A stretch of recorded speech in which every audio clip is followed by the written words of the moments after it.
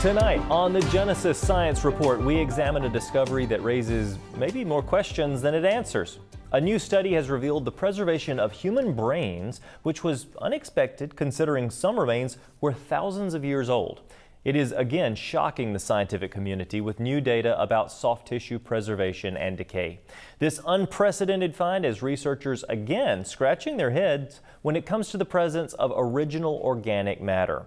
Joining us to discuss the science and the implications is Dr. Joe DeWeese, Professor of Biochemistry and Director of Undergraduate Research at Freed-Hardeman University. Dr. DeWeese, welcome to the show.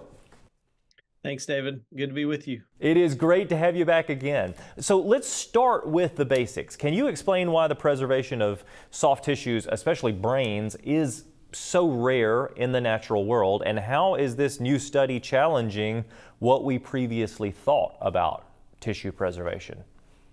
Yeah, it's a great question. Good to be back with you, David. Um, you know, as we think about uh, what happens at death, really is what we're talking about here. So when uh, just any organism dies, right? What typically happens? You know, if you think about, uh, let's just give the example, kind of crude, of roadkill, right? So what happens to an animal that dies on the side of the road? Well, obviously its body begins to decay, but then there's scavengers that come and tear it apart and take, you know, parts of it and so forth. And so you really don't have much left there, right? Uh, over time, it's it's going to get uh, dragged away. It's going to get eaten. Um, and there's also processes going on though within the organism itself where uh, the tissues begin to break down themselves. Uh, while we're alive, our cells remain intact and functioning, and keep at bay some of the enzymes and things that actually are designed to kind of break things down.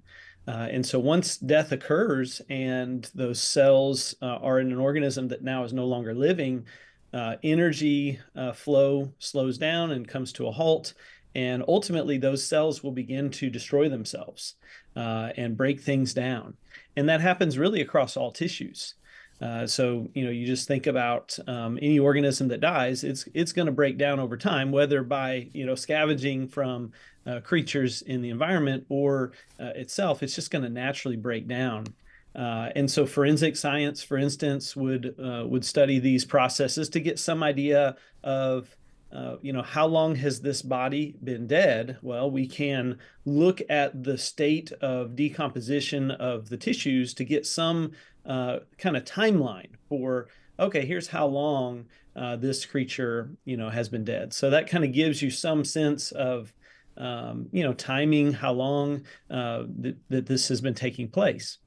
Well, you know, so Go ahead. Yeah, well, Joe, I, I, had to actually read it twice just to make sure that what I was reading was was not the fossilized remains of mm-hmm. brains, right? But but then the more I, I I'm reading through it, you know, it's like, no, no, there there are still soft, pliable tissues in mm-hmm. here, which again is a staggering number of preserved brains because they're talking about uh, more than 4,000 that have been found, uh, spanning continents.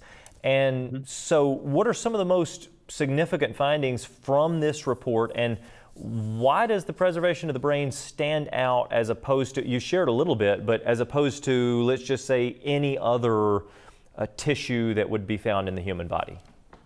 Yeah, that's a great question. Um, you know, as you think about, um, so so let's talk about what they did, and then we'll think about kind of why why this is significant. So, uh, what the study did, and by the way, the the paper, the research paper is out there and available. It's in what's called the Royal Society uh, publications, what they call Proceedings B, which is uh, a you know a prestigious uh, journal of the Royal Society uh, of uh, Science. And um, this particular one was published by a group from the University of Oxford. Okay, so this is not um, an obscure group here that's that's publishing this work.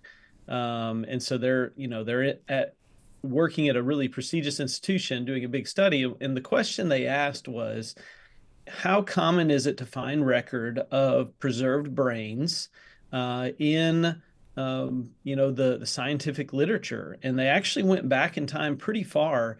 Uh, looking back in time as far as um, the you know records as old as the 17th century yeah. uh, to identify um, you know where there was record of preserved brains and uh, they have dated these brains to be as old as 12,000 years old. That's obviously on a conventional dating uh, time scale. and these probably uh, these 12,000 year old brains we would probably look at as as post flood um, you know brains but in general they they've dated these uh, as you know thousands of years old some of them were that old some of them were much newer uh, but what was interesting was where they thought there would be you know maybe a few hundred records of of such uh, of brains being preserved.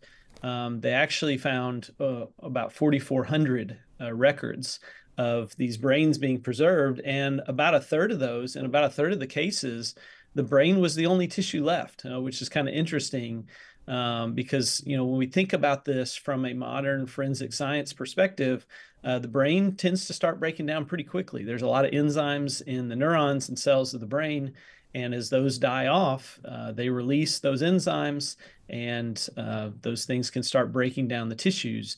And so, interestingly, these were uh, preserved um, and, and, held. So, so they they say that it's about 20 times uh, there's about 20 times more than were previously known as far as ancient preserved uh, brain soft tissue specimens.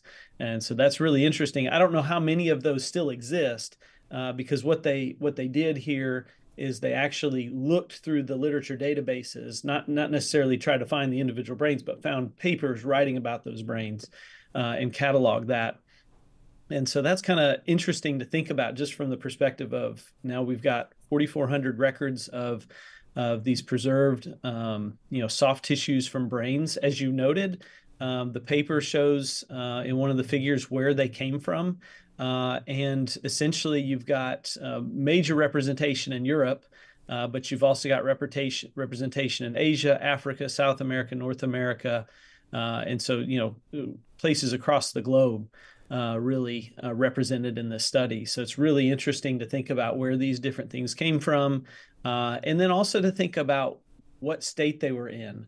And so, for instance, some of them were uh, frozen because they're up in far Arctic regions. And so you can understand how those might be preserved. Some of them were dehydrated. And so the dehydration may also have played a factor in preserving them.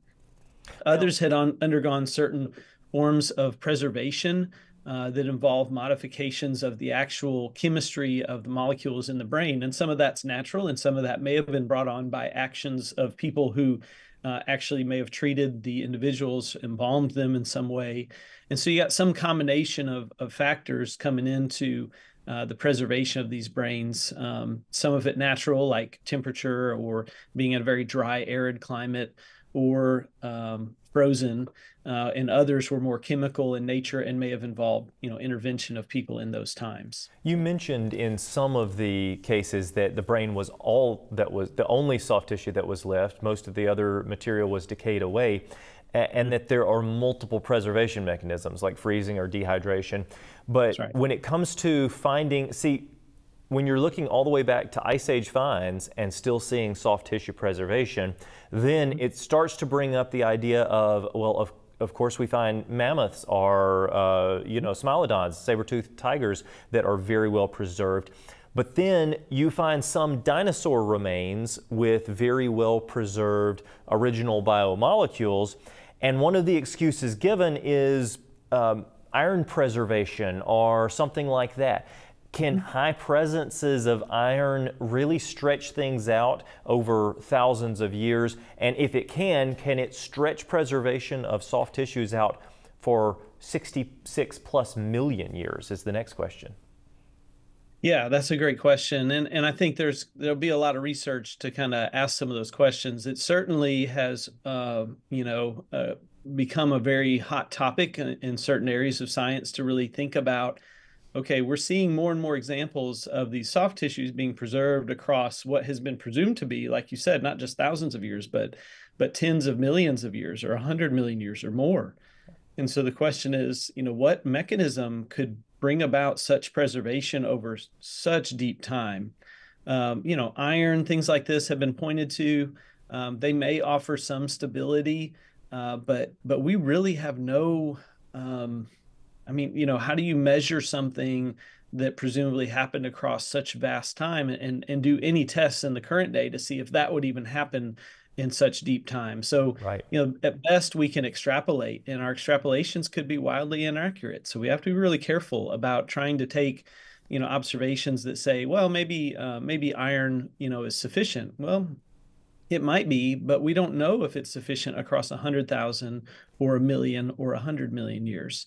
Uh, that kind of deep time, I don't think we really fathom uh, how badly wrong our calculations could be, even if we're off by a small amount, right? So, uh, so there's there is a lot of interest in this, yeah. and and you know, to be fair to the col- to our uh, scientific colleagues who don't uh, agree with our viewpoint, they're trying their best to explain these things in their model, in the context of their model, and I respect that.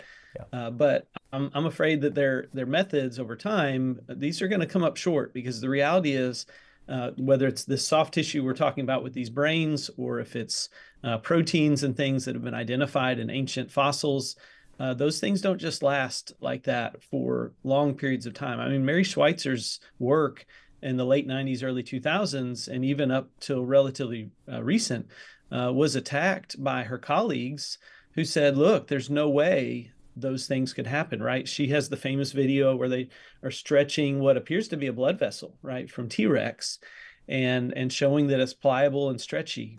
Well, how does that happen? You know, across 65 million years, that that remains enough intact to still be stretchy and pliable today. It's challenging everything that most people thought they knew about the age of some of these things. It has incredible biblical implications, but more than that. Dr. DeWeese, your research into this uh, takes it even farther into sequencing some of these things that have been found, and I cannot wait to see uh, where it leads.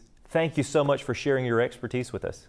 Yeah, absolutely. Glad to. Yeah, there's there's a lot of exciting things coming, and you know the reality is we have tools today that weren't available to us, you know, uh, even a, a decade ago, and some of these tools are opening up new doors that may allow us to ask questions about uh, things that we thought were long lost. Right? When I was in graduate school, the assumption was, yeah, anything in in uh, fossilized tissues, anything like that, it's long gone. There's going to be no DNA, no trace of that, no proteins and and a lot of that's been upended and we have evidence not only of proteins but of dna and if there's dna it could be potentially sequenced and so there's some excitement there that uh, some doors may open that we thought were closed I can't wait to have you back on. Thank you again. And that is it for today. I want to thank you for joining us on the Genesis Science Report. Until next week, keep looking up. I'm David Rives. Truly, the heavens declare the glory of God.